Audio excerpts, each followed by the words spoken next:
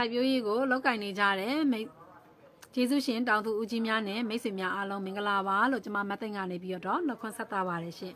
ဒီနေ့ပေါ့နော်ဒီနေ့ဗီဒီယိုလေးမှာဆိုလို့ရှိရင်ကျမတို့ transpound က၄နှစ်တိုင်တိုင်ရောင်းအားကောင်းခဲ့ရဘာကြောင့်လဲကျမတို့ transpound ကို2019ခုနှစ်ကနေမြန်မာနိုင်ငံကိုရောက်ရှိလာတဲ့ဒီနေ့2022အထိမှာဆိုလို့ရှိရင်၄နှစ်တိုင်တိုင်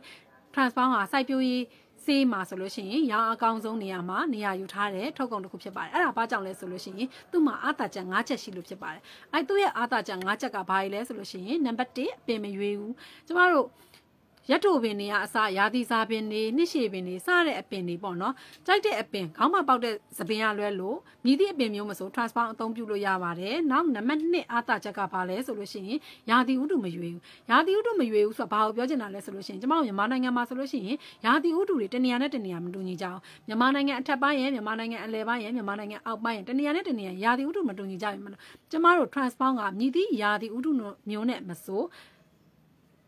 ကိုင်းညီတာဖြစ်တဲ့အတွက်ကြောင့်မို့လို့ရာသီဥတုမရွေးအသုံးပြုလို့ရပါတယ်။နောက်နံပါတ်3ကကြတော့မြေမရွေးပါဘူးရှင်။မြေမရွေးဘူးဆိုတဲ့နေရာမှာမျိုးစေ့ချလိုက်လို့အပင်ပေါက်တဲ့မြည်သည့်မြေမျိုးမဆိုကျမတို့ transfer အသုံးပြုလို့ရပါတယ်။အဲ့တော့ဒါဟာဆိုလို့ရှိရင်နံပါတ်3မြေမရွေးဘူးဆိုတဲ့အာသာချက်ဖြစ်ပါတယ်။နောက်နံပါတ်4ရဲ့အချက်ကကြတော့သူ့ရဲ့နီးပညာဖြစ်ပါတယ်။နီးပညာမှာဆိုလို့ရှိရင်နောက်ဆုံးပေါ်နာနိုအင်ဇိုင်းနီးပညာနဲ့ထုတ်လုပ်ထားတာဖြစ်ပါတယ်။နာနိုအင်ဇိုင်းနီးပညာကဘာလဲဆိုလို့ရှိရင်စုပ်ယူမှုအကောင်းနဲ့စိတ်ဝင်မှုမြန်ဆန်တယ်။ ဒါကြောင့်မို့လို့ကျမတို့ transform ကိုဖြန်းလိုက်လို့အပင်ဝဲတိတိအရွက်ကိုဝဲတိတိပင်စီဝဲတိတိကြိုက်တဲ့နေရာကိုထိဖြန်းပြီးလို့ရှိရင်နိုင်ဝက်မိနစ်20အတွင်းမှာပင်လုံးပြန်စိတ်ဝင်သွားတယ်အဲ့နိုင်ဝက်မိနစ်20ကကြော်သွားတာနဲ့တပြိုင်နက်ကြိုက်တဲ့လောက်မိုးရွာချဒီဆေးရအာနိတင်နေသည်လုံးဝ လလေလွတ်မရှိတော့ဘူးပင်နဲ့အပင်ထဲမှာပင်လုံးမြန်စိတ်ဝင်ပြီးသားဖြစ်တဲ့အတွက်ကြောင့်မို့လို့အစာအာဟာရပြည့်ပြည့်ဝဝရရှိပြီးဖြစ်ပါတယ်။နောက်နံပါတ်5အာသာချက်ကဆိုလို့ရှိရင် Transform ကမြန်မာနိုင်ငံကိုတရားဝင်တင်သွင်းဖြတ်ချီနေတဲ့ထုတ်ကုန်ဖြစ်ပါတယ်ရှင်။မြန်မာနိုင်ငံမှာဆိုလို့ရှိရင်ရုံးချုပ်ကြီး9ခုဖွင့်လှစ်ထားတယ်။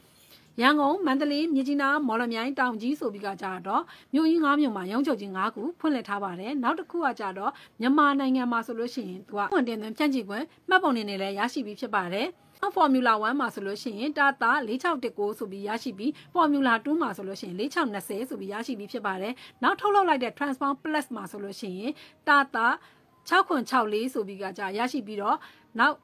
plus 2မှာဆိုလို့ရှိရင်6ခွန်65ဆိုပြီးကကြတော့တင်သွင်းခွင့်မှတ်ပုံနဲ့အမှတ်တွေအသီးသီးရရှိပြီးဖြစ်ပါတယ်ရှင်အဲ့တော့ မြန်မာနိုင်ငံအပါအဝင်နိုင်ငံပေါင်း10နိုင်ငံကိုဒီအရေးအသွေးဒီထုတ်ကုန်တိုင်းပဲပြည့်ချင်နေတဲ့ထုတ်ကုန်လည်းဖြစ်ပါတယ်ထိုင်းနိုင်ငံမှာဆိုလို့ရှိရင်သူကစက်ယုံထိုင်းနိုင်ငံမှာပဲစက်ယုံကရှိတာပါ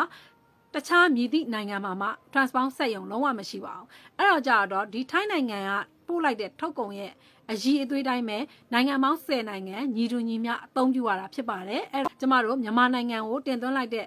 ထုတ်ကုန်နဲ့တခြားနိုင်ငံကိုတင်သွင်းလိုက်တဲ့ထုတ်ကုန်ရဲ့အကြီးအသွေးဟာဒန်းတူညီမျှအသုံးပြုခွင့်ရတာဖြစ်ပါတယ်အိုင်းမြန်မာလာအိုကမ္ဘောဒီးယားစင်ကာပူမလေးနိုင်ဂျီးရီးယားအင်ဒိုနီးရှား အဲဖိလစ်ပိုင်ဆိုပြီးကကြတော့အိယာဆိုပြီးကနိုင်ငံပေါင်း10နိုင်ငံကိုတရားဝင်တင်သွင်းဖြန့်ချိနေတဲ့ထုတ်ကုန်ဖြစ်ပါတယ်။သူ့မှာဆိုလို့ရှိရင် ISO လက်မှတ်လို့ခေါ်တဲ့နိုင်ငံတကာစံချိန်စံညွှန်းနဲ့ညီတဲ့နိုင်ငံတကာတင်သွင်းဖြန့်ချိခွင့်လက်မှတ်လည်းရရှိပြီးဖြစ်ပါတယ်။နောက်တစ်ခုက GMP လက်မှတ် GMP လက်မှတ်ကဆိုလို့ရှိရင် transfer ကိုစပြီးကကြတော့ထုတ်လုပ်လိုက်တဲ့ထုတ်ကုန်ရဲ့အည်အသွေးနဲ့ကြိုက်တဲ့အချိန်မှာဝင်စစ်စစ်လိုက်လို့မို့လို့ဒီအည်အသွေးထက်တစ်စက်ကလေးရော့သွားတဲ့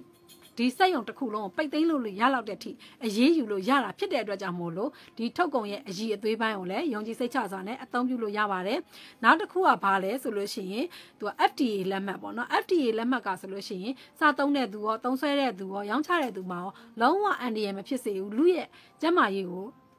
ဆိုကြမဖြစ်စေဘူးဆိုတဲ့လက်မှတ်ပဲဖြစ်ပါတယ်နောက်လက်မှတ်ကဘာလဲဆိုလို့ရှိရင်